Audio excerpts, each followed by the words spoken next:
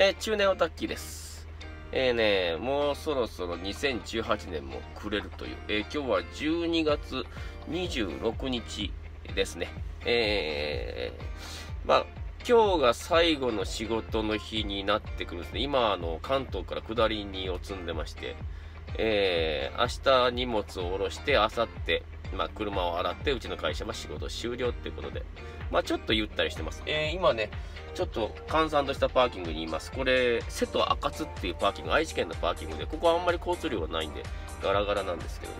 えー、で、今日はあの、特に新たなネタをその仕込んでるわけじゃないんですけども、えー、2018年、まあ、今年1年間に、えー、皆さんどのような、ね、写真を撮られたでしょうか。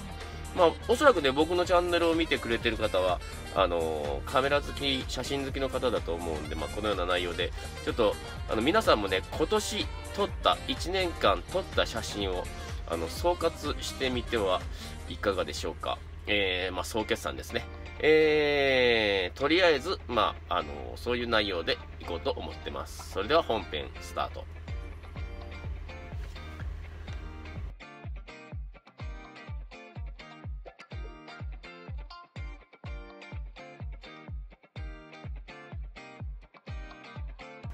えー、私ね、ちょっとトラックに乗ってて、まあ、長距離トラッカーなんで、あのー、まあ、知ってる人は知ってると思うんですけど、ほとんど家に帰んないでずっとトラック乗りっぱなしなんですね。で、撮る写真もそのトラックで行った時にこう綺麗な風景を見たりとか、あそういう写真が多いんで、私の場合はね、その、1年を総決算して、今年はこんな写真撮ったな、ああ、こんな写真撮ったな、今年はあれにチャレンジしてない、これにチャレンジしてない、来年は来年はあれにチャレンジしようとか、そういうのあんまできない、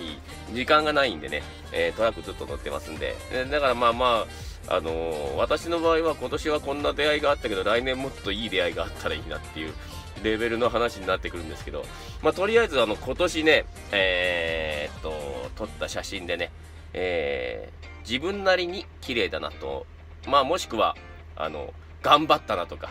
えー、そういうのを総合的に加味して、3位、2位、1位と、あの、僕の写真を紹介したいと思います。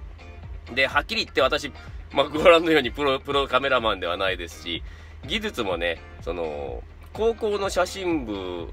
えーと、東福岡高校って福岡の高校に在籍してましてそこの写真部が結構レベルが高かったんですよ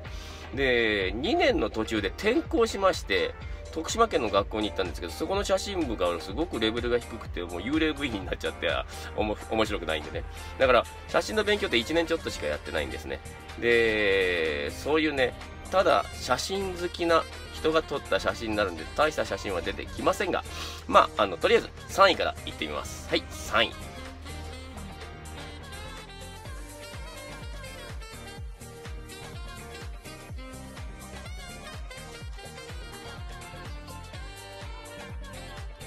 えー、この写真はね、北陸道の杉津パーキングっていうところで、えっ、ー、と、1月の終わりぐらいに大雪が降った時に撮ったのかな。えー、まあ、あの、三脚を持っていてなかったんで、あの、ISO 感度100、あ、100ではもちろん撮れない。400で、で、あの、頑張って手持ち撮影したんですね。じーっとね。まあ、あの、レンズが IS 付きなんで、まあ、それも手伝ってブレてない写真になりましたけど、あの、まあ、自分なりに頑張ったなと、まあ、そこそこ綺麗に写ってるなっていうので3位に選びました。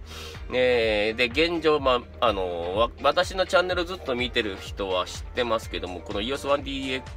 Mark III はもうすでに壊れてありません。えー、今は、あの、5D で撮ってるんですけどね、あの、ちょっと 5D が出す絵がちょっと 1DS に届いてないんで、まあ、あの、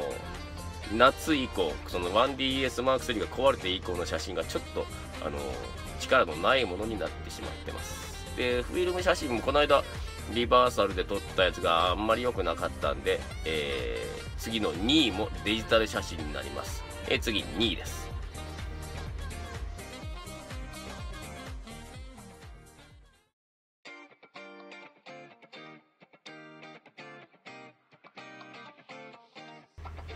えー、この写真はね、あのー、フェリーの戦場から撮りました。えーとね、え四国フェリーっていう、えーと、岡山の宇野港から、えー、香川県の高松港に行く、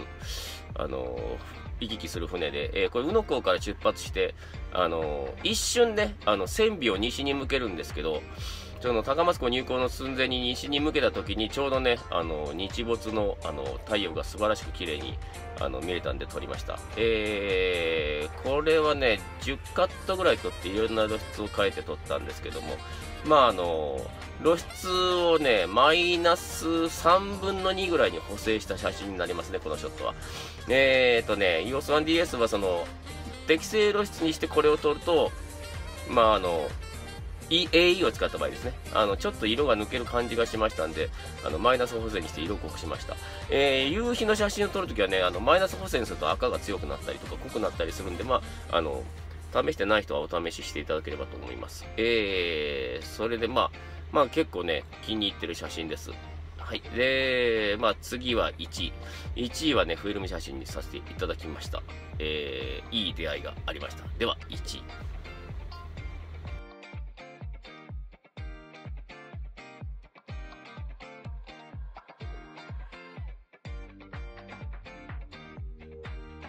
え、ごめんなさいね。ちょっと縦構造の写真なんでね、あの、横になって見ていただければと思います。もし、あの、なんじゃこらと、もう、巻き戻して、ちょっと見てください。えっ、ー、とね、これあのー富士グランっていうね、徳島のあのショッピングセンターで七夕の時にね、あの飾り物、まあ、お願い事、お願い事をしたあの札を、まあ、見て、ちょっとかなり感動しましたんで、そのただ単純にその感動したものを撮っただけです。その綺麗な写真というわけではないんですけども、あの別にね、僕らプロカメラマンではないですし、自分が感動したもの、自分が感動できるものをね、狙って撮っていいんだと思います。まあ、プロの人はね、売れる写真を撮らないといけないんで、こんな写真撮ってるところじゃないんでしょうけどね。あの、まあ、その、アマチュアですから自己満足なんでね、あの、こういう写真もありと思います。で、今回はその出会い、素晴らしい出会いができましたんでね、それこれをあえて1位にさせていただきました。えー、皆さんはね、まあ、まあ、こんな感じで、どうでしょうね、あのー、いい出会い、えー、その写真は基本一期一会、まあ、夕日にしたってね、5分間の勝負とかね、あのー、まあ、雪山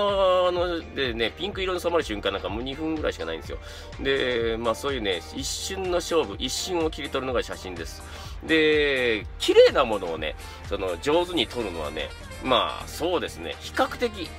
うん、比較的まあ簡単なんですよね。だって綺麗なものを撮るわけですから、まあ綺麗に映って当たり前。あの、技術さえそこそこあればね。なんですけど、あの、僕がね、その来年目指すものはね、どうでもいいものを印象深く撮れないかなって今思ってます。ロバート・キャパみたいにね。えー、まあ街中のスナップは私、仕事的にちょっと厳しいんですけど、えー、何事もないその日常をね、をそのスナップで切り取って、おおっていう写真が撮れたらなって思ってます。まあそんな感じです。えー、皆さんね、来年の目標どんな感じにしていくでしょうか？今年のね、まあ今年まで完全に終わってないですけど、まあ、あのー、年末年始のね、えー、帰省とかの時にも写真撮るかもしれないですし。いや、ただあのー、まあ今まで何回か言いましたけど、特にね、家族写真とか、えー、恋人との写真とか、まあ、そういうのはね、ぜひぜひフィルムで撮っていただきたいです。えー、なぜかっていうと、デジタルの写真ってその残りにくいんですね。あの、パソコンの中に入れててもパソコン壊れたとかしますし、えー、あの、スマホに入れててもスマホがね、水没したりとか消えますし、で、フィルムカメラの写真というのは比較的にね、その保存が容易です。えー、フィルムで撮って同時プリントして、あの、アルバムとかに挟んでね、で、本棚とか引き出しの中に入れて放置しててもね、まあ大丈夫なんでね、基本的に。あんまり湿気があるとダメですけど。で、その簡単に保存できてね、多分ね、20年、25年経った時に、あのー、ああ、フィルムで撮ってりゃよかったなって後悔すると思うんですよ。だからフィルムカメラ今ね、あの、すごく安いんで、まあヤフーコとかでもそう中古カメラとかでもアホ、アホみたいに安い値段で売ってますから、ぜひね、フィルムカメラを1台、特に EOS のフィルムカメラとかだったら、EOS カメラとあのレンズが共有できたり、まあニコンの F, F シリーズも F マウントでも一緒ですけど、あの、コストはそんなにかからないんで、フィルムで撮ってほしいです。えー、そんなわけです。えー、でね、まあ、来年、まあ今年これで、この動私のチャンネルは、今年、今年アップはこれで最後になります。で、来年の一発目なんですけど、うん、どうしようかどうしようかって考えてて、これ行こうかなと思いました。うん、こいつの紹介に行こうかなと。これ、えっ、ー、と、EOS5D のね、マークマン、最近メインカメラで使ってるやつです。今一つね、露出のアルゴリズムがつかみきれてなくて、今までその紹介を見送ってましたけど、えー、こいつの紹介でいきたいと思います。で、今これついてるレンズはね、あのー、ジャンクハードオフでね、500円で買ってきたレンズです。で、CF カードまで入れてね、まあ、バッテリーグリップは別ですけど、CF カードまで入れて、これね、3万円ぐらいで揃っちゃいます。で、フルサイズです。で、まあ、とりあえずそのフルサイズの一眼デジタルがどんなものかっていうのに続いて、こいつ。これ、50D です。まあ、ちょっとこっちの方が新しいですけど、この 50D とちょうどね、その、似たような画角のレンズが今ついてます。これ1855、これ2880。これね、あの、APS-C ですからちょっと伸びますからサイズが。だから換算すると大体似た、えっ、ー、と、2988になるのかな、これが。あの、フルサイズに換算すると。これ2880なんで、ほぼほぼ似たような感じなんでね。で、レンズのね、あの、設計も結構似通ってて、似たような絵が出そうな感じなんで、あのまあ、時間をちょっとかけまして、え第2弾ぐらいに、APS-C とフルサイズ、似たようなレンズをつけて撮影したらどうなるのか、フルサイズの利点は、APS-C の利点は、まあ、この辺も、えー、やっていきたいと思ってます。えー、そんな感じです。えー、今年ね、その、こんなしょうもないね、と、えっ、ー、と、チャンネルに、チャンネル登録220人ぐらいかな？えー、いただいてます。えー、そんなに自分自身では、まあ面白い内容なのかなと思いつつも、まああの、あまり他の人がやらない、カメラ系 YouTuber は他の人がやらないテーマでできるだけやっていこうと思ってますし、えー、貧乏人まあ私みたいな貧乏人が、その、カメラをやっていく上で役に立つこととか、えー、あとフィルムカメラの情報、えー、こういうのも来年次継続してやっていきたいと思いますので、えー、今日初めて私の動画を見た人とかは、あの、ぜひぜひチャンネル登録してお待ちください。ただ、あの、テーマ的にその時間がかかることが多いですし、えー、トラック乗っててすごい忙しいっていうのもありまして、あの、動画アップは非常にあの、間隔が長くなって不、不、不規則になってます。この辺はちょっとご了承くださいませ。えー、それではね、皆さん、あの、今年どうだったでしょうか？えー、来年はどうでしょうかね？来年、まあ、今年良くなかった人も来年いい年になればいい。今年良くな、良かった人は来年もより良い年になればよいいですね。えー、じゃあ皆さん良いお年をお迎えくださいませ。えー、まあ、今まで、えー、今年ね、えー、ご覧いただいてありがとうございました。来年もまたよろしくお願いします。それでは、